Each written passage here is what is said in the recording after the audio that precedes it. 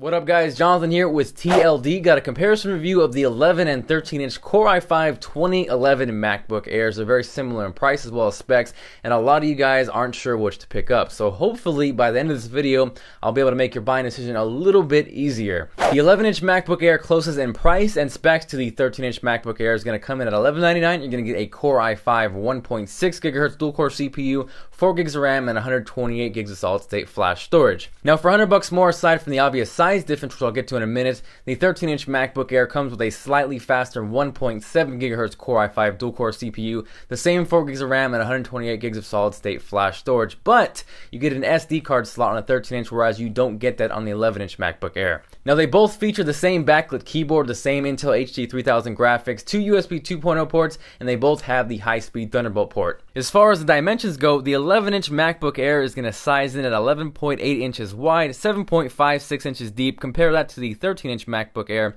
which is going to size in at 12.8 inches wide and 8.54 inches deep. The 11 inch MacBook Air comes in weighing a minuscule 2.38 pounds, whereas the 13 inch comes in tipping the scale at nearly 3 pounds at 2.96 pounds. Now, as far as the difference in screen size, the 11-inch MacBook Air features a resolution of 1366 by 768, and the 13-inch MacBook Air features a resolution of 1440 by 900. So they're actually both high res, and the 13-inch MacBook Air actually features the native resolution of a 15-inch MacBook Pro. So food for thought. In terms of how much that matters, here's an example of Apple's homepage open in Safari, so you can see exactly how much extra screen real estate you get. And here is Final Cut Pro 10. And that leads me to my next question. A lot of you guys are curious: is can these MacBook Airs even handle apps like Final Cut Pro 10? And if I told you guys yes, most of you guys would probably laugh at my. no, really, they actually can handle apps like Final Cut Pro 10. That is because of Intel's hyperthreading. Now, on paper, they're actually both dual-core CPUs, but because of Intel's hyperthreading, the OS will actually see and utilize all four threads almost like a quad-core computer. So, you guys that are hating on the MacBook Airs, you guys need to Stop it! Looking a little closer at the CPU specs, the 13-inch MacBook Air actually pulls away a little bit in this category, and that is because of Intel's Turbo Boost. The 1.6 GHz Core i5 CPU on the 11-inch will turbo up to 2.3 GHz, and the 1.7 GHz Core i5 on the 13-inch MacBook Air will actually go all the way up to 2.7 GHz in certain applications. Now, the next thing you guys are going to ask me is how much difference does that make as far as benchmarks, but you guys know I got you guys covered on that. And in Final Cut Pro 10, for a 1 minute 1080p H.264 export, the 11 inch MacBook Air pumped that out in 2 minutes and 46 seconds. The 13 inch MacBook Air was faster at 2 minutes and 7 seconds. For iMovie 11, I took a 1 minute 1080p clip, converted that to 720p on H.264 export. The 11 inch MacBook Air did that in 7 minutes and 52 seconds, whereas the 13 inch MacBook Air pumped that out in 5 minutes and 1 second. Jumping onto the 64 bit version of Handbrake, what I did was I took a 10 minute MP4 file and encoded that to an Apple TV 2 preset.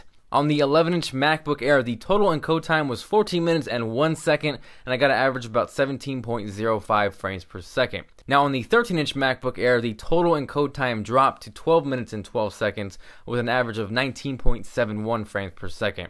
Moving on to Cinebench 11.5 on the OpenGL portion, I got 9.27 frames per second on the 11 inch MacBook Air and 11.13 frames per second on the 13 inch MacBook Air. Now, on the CPU portion, the 11 inch MacBook Air scored a 1.85, whereas the 13 inch MacBook Air scored 2.09.